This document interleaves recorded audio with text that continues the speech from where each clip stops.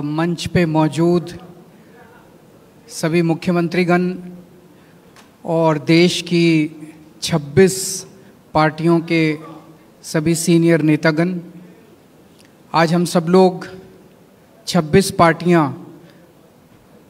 बेंगलोर में यहाँ पे एकत्रित हुए। ये दूसरी मीटिंग थी, पटना में 16 पार्टियाँ इकट्ठी हुई थी। तो ये अच्छी बात है कि कुनबा बढ़ रहा है। आज से नौ साल पहले इस देश के लोगों ने नरेंद्र मोदी जी को भारी बहुमत देके जिताया था। इन नौ साल के अंदर उनके पास मौका था। वो देश के लिए बहुत कुछ कर सकते थे। लेकिन इन नौ सालों में उन्होंने एक भी सेक्टर ऐसा नहीं है जिसमें हम कह सकें कि तरक्की हुई है। हर सेक्टर को बर्बाद करने में उन्होंने कोई कसर नहीं छोड़ी। सबसे बेस्ट तो है आप सेकंड क्लास की रेलवे की टिकट लेके किसी भी ट्रेन में चढ़ जाइए, आपको पता चल जाएगा कि आज से चार पाँच साल पहले रेलवे ठीक ठाक चला करती थी।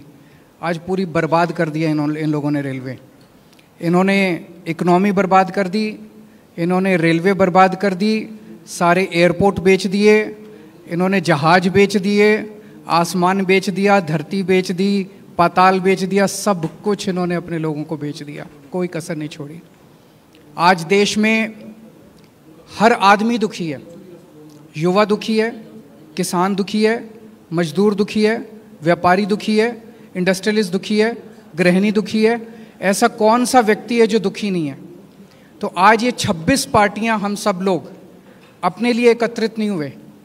हम देश को एक तरफ़ बचाना है, जिस तरह से पूरे देश के अंदर नफरत फैलाई जा रही है, उससे बचाना है।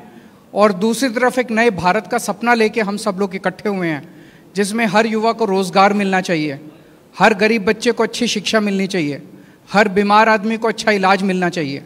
ये सपना लेके हम सब लोग इकट्ठे हुए हैं, जहाँ पे ऐसा भारत होगा जहाँ सब सुख शांति होगी, प्यार मोहब्बत होगी, और देश तरक्की करेगा, ना कि देश के संसाधन जो हैं कुछ लोगों के लिए, चंद लोगों के लिए लुटाए जाएँगे। आज बहुत अच्छा डिस्कशन हुआ और मैं कर्नाटक सरकार को, कांग्रेस पार्टी को और मेरे पत्रकार भाई और बहनों, दूसरी कामयाब मीटिंग हुई है हमारी।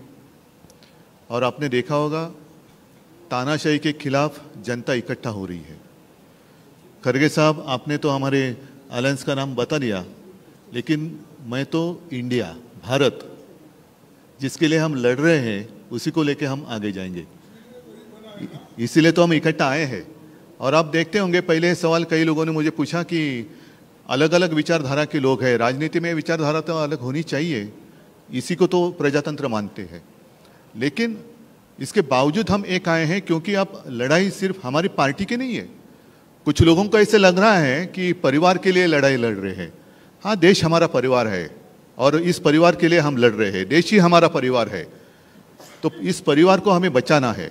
और लड़ाई हमारी एक पार्टी के खिलाफ या एक व्यक्ति के खिलाफ नहीं है, लड़ाई हमारी नीति के खिलाफ है, तानाशाही के खिलाफ है। और जैसे एक ज़माने में आज़ादी की लड़ाई हुई थी तो अब आज़ादी खतरे में आई है। तो इस आज़ादी के लिए हम सब इकट्ठा आए हैं और पक्का भरोसा है कि हम कामयाब रहेंगे, हो जाएँगे। और देश के जनता के मन में एक डर है कि अब क्या होगा तो हम इतना उनको एक एहसास दिलाना चाहते हैं कि विश्वास दिलाना चाहते हैं, डरो मत, हम है। हम है। जैसे एक वो पिक्चर आया था, मैं हूँ ना, वैसे हम है ना। आप क्यों डरते हो? चिंता मत करो। एक व्यक्ति या एक पार्टी मतलब देश नहीं हो सकता। पूरे देश की जनता मतलब देश है और देश की जनता अब इंडिया और भारत बनकर सामने आएगी। अपने देश को हम सुरक्षित रखेंगे। और दो मीटिंग हुई है। आज की मीटिंग काफ़ी कामयाब रही। मैं खरगे साहब, आपको शिव कुमार जी सबको धन्यवाद देना चाहता हूँ। मुख्यमंत्री जी को देना चाहता हूँ। बहुत ही अच्छी मीटिंग हुई और अगली मीटिंग हम महाराष्ट्र में करेंगे, मुंबई में करेंगे। तारीख तो हम तय करेंगे ही, लेकिन अगली मीटिंग हम मुंबई में करेंगे। सबको धन्यवाद देना चाहता हूँ। जय हिंद, जय महाराष्ट्र।